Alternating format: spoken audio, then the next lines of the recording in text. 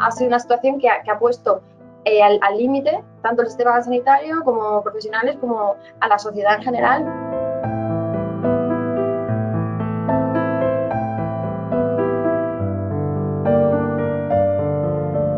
Yo empecé el primer día que se abre IFEMA, el, donde todavía no había pacientes, ayudé bueno, ayudamos a colocar las camas, ayudamos a como preparar lo que era el pabellón al principio, que era un pabellón, una nave vacía, y luego ya empezaron a venir los primeros pacientes y eso sí que fue eh, un poco descontrol de, no saber tratamientos, de no saber antecedentes de, los, de las personas, de dónde venían.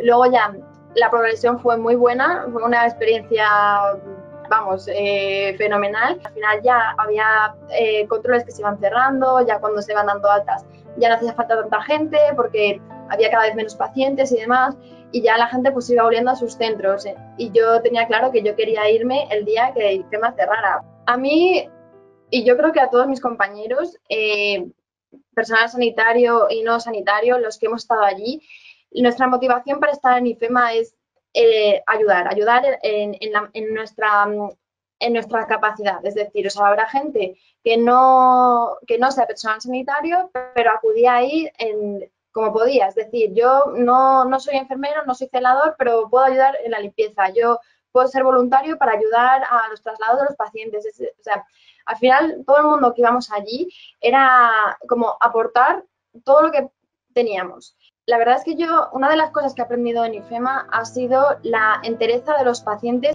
Yo cuando entraba ahí a, ese, a esa nave tan grande, eh, todo con esa sensación un poco desoladora, las camas puestas unas al lado de otras, pero no tenían enchufes para conectar el teléfono para hablar con sus familias, no tenían, la mayoría no tenían, habían venido con lo puesto, habían acudido a urgencias y de ahí les habían mandado a IFEMA. Evidentemente venían con mucho miedo con mucho desconcierto. Es, o sea, si yo estuviera en tu situación, a lo mejor yo lo estaría pasando muy mal porque estaría sola, no, no tendría contacto con mi familia. Y en cambio, me estáis enseñando de verdad que, que al final estáis agradecidos por lo que se está haciendo por vosotros y es la entereza y la fuerza que me han demostrado, a mí me sorprendía a diario.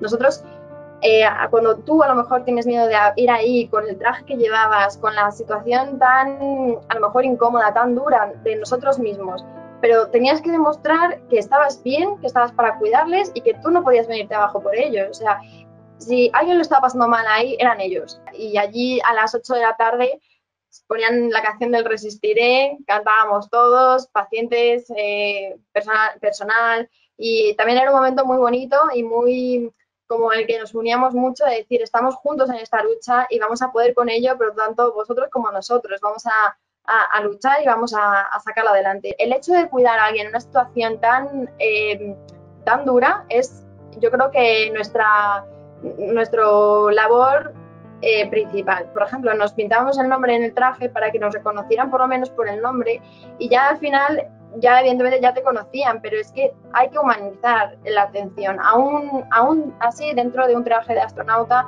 aún así en una nave que no es un hospital, aún así en, en aunque sea en un traslado, en una silla de ruedas, hay que humanizarnos y no podemos olvidar que estamos trabajando con personas, que estamos eh, enfrentándonos a una pandemia muy dura y que al final el miedo está a la orden del día.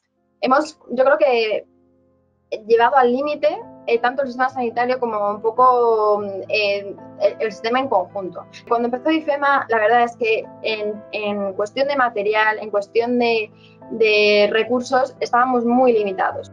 Una situación así nos ha obligado a reinventarnos cada día, nos ha obligado a, entender la enfermedad, nos ha obligado a probar, nos ha obligado a al final estar intentando un protocolo, ver que no, iba, no era efectivo, se sacaban protocolos nuevos, ver si funcionaban, era un poco prueba y error.